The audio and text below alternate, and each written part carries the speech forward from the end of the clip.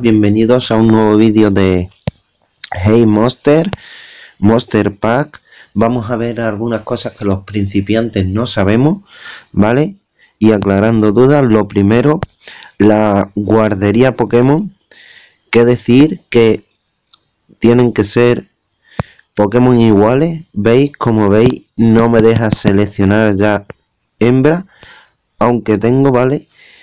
tienen que ser Pokémon iguales y lo que va a hacer es, resetearnos el, el value del Pokémon, ¿vale? Lo que es la naturaleza.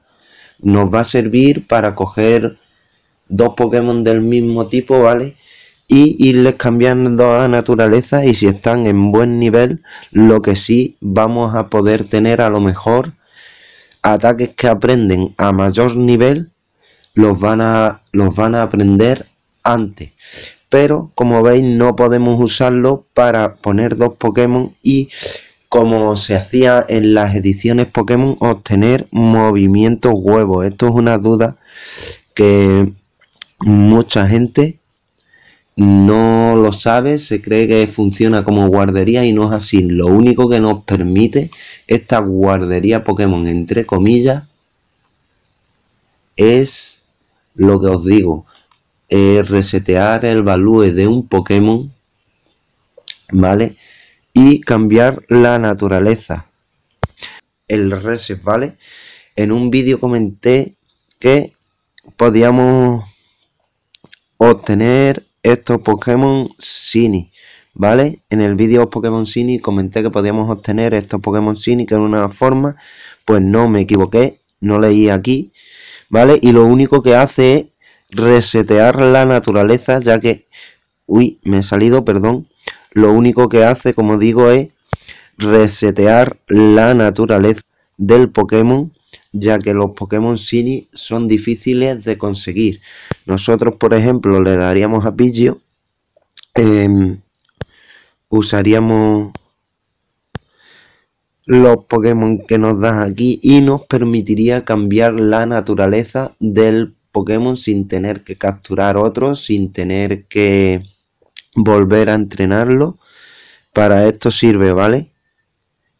Para resetear la naturaleza de los Pokémon que salen aquí. Se nos irá refrescando automáticamente, como pone aquí, todos, los días automáticamente a las 12 horas del servidor, ¿vale?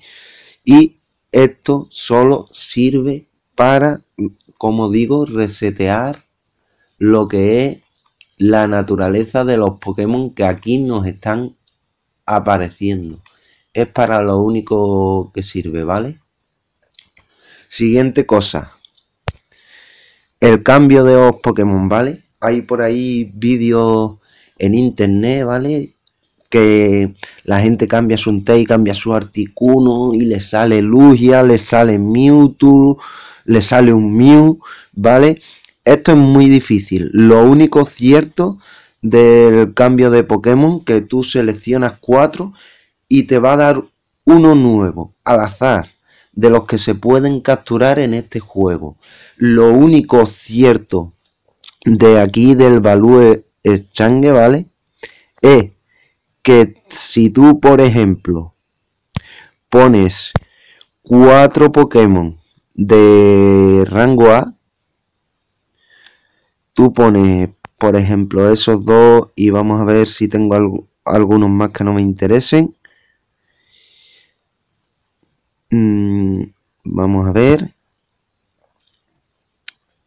Si tú pones cuatro Pokémon de rango A, estos cuatro, ¿vale?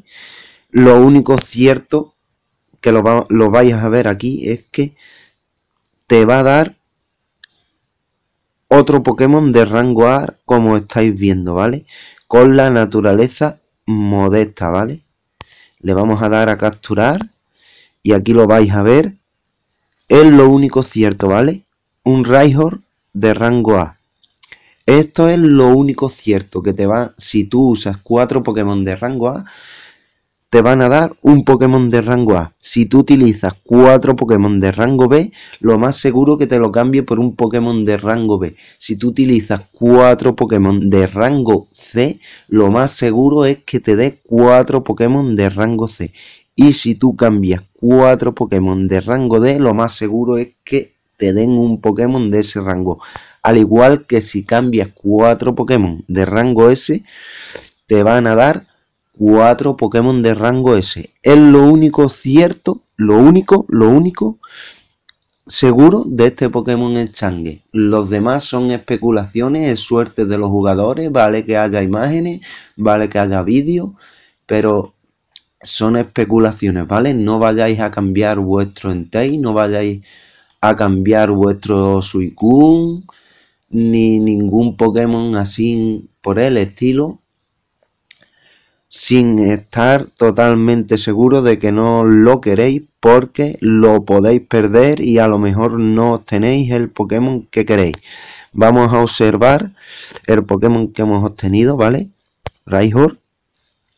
Para ello le damos a Brick. La naturaleza modesta nos está dando especial attack y nos está bajando el ataque. Esta naturaleza no nos interesa ya que Raihor utiliza bastante los ataques físicos, con lo cual o lo usamos para sacrificarlo o bien esperamos a que podamos cambiarle la naturaleza que como os digo es para lo que sirve este reset, ¿vale? Para cambiar la naturaleza de nuestro Pokémon y no tener que capturar y entrenar otro de nuevo. Otra cosa para los principiantes, ¿vale? La capacidad de la PC se aumenta con gemas, ¿de acuerdo? Y cuando llegues a la capacidad máxima, cosa que se descubre cuando la llene, ¿de acuerdo? Los Pokémon que capture no los vais a perder. Se van a ir, ¿vale? Al mail los vais a tener aquí yo ahora mismo no porque me sobra capacidad, pero se van a ir a vuestro mail y aquí los vais a poder recoger en cuanto tengáis hueco disponible en vuestra PC. Así que si queréis seguir capturando, capturar, esos Pokémon no los vais a perder, se os van a venir al mail y se van a guardar aquí hasta que tengáis capacidad suficiente para poder reclamarlos y obtenerlos.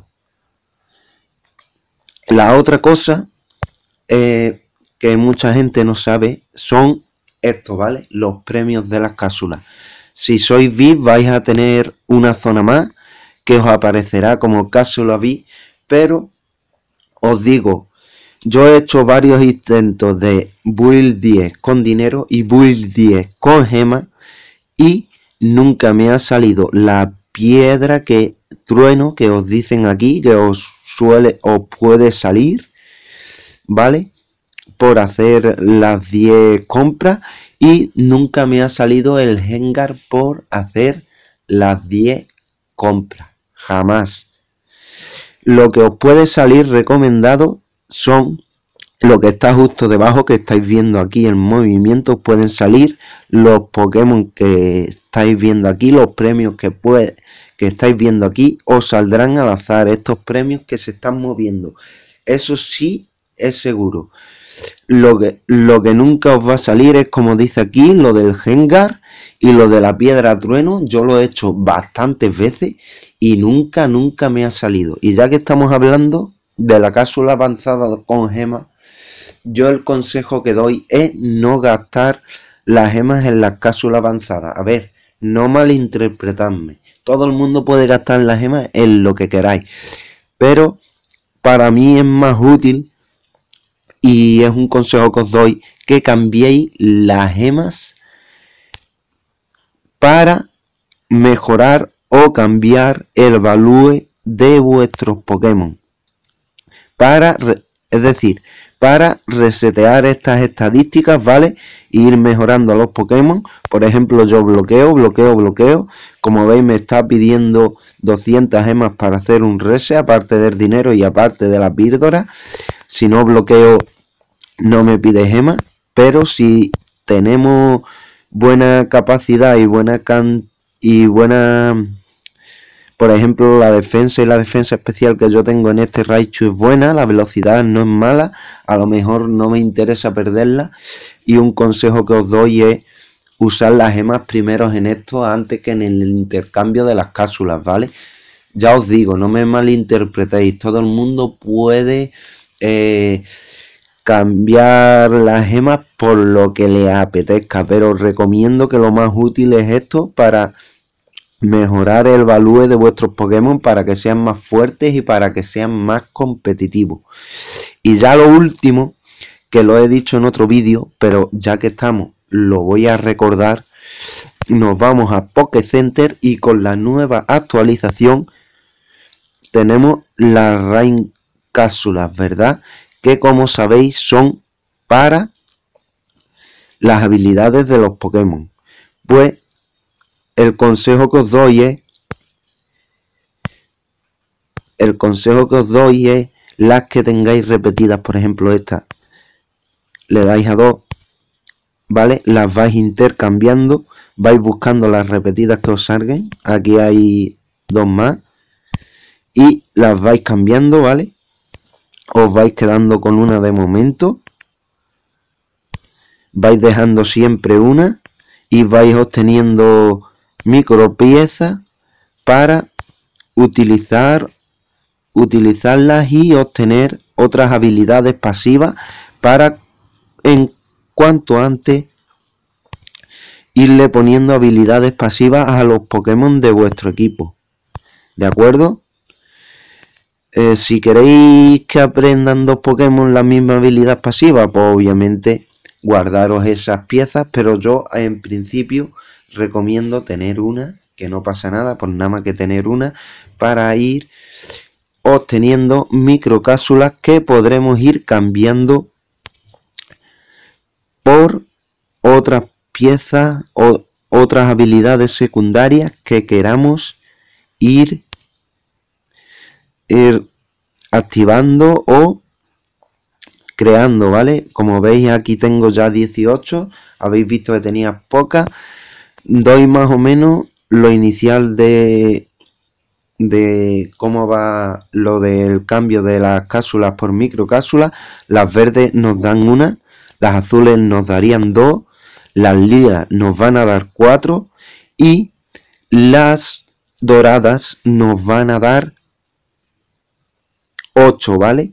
Eso es por lo menos más o menos, esto es ahora así, ¿vale? Son las microcápsulas que nos van a ir dando. Y cuando tengáis, por ejemplo, mi Raichu ya puede aprender eh, la habilidad pasiva estática que sirve para causar parálisis, ¿vale? Con el simple toque de los de otro Pokémon, un ataque que sea físico. Bien, pues estas son las cosas que quería deciros a los novatos. Nos vemos en el próximo vídeo de Hey Monster Monster Pack.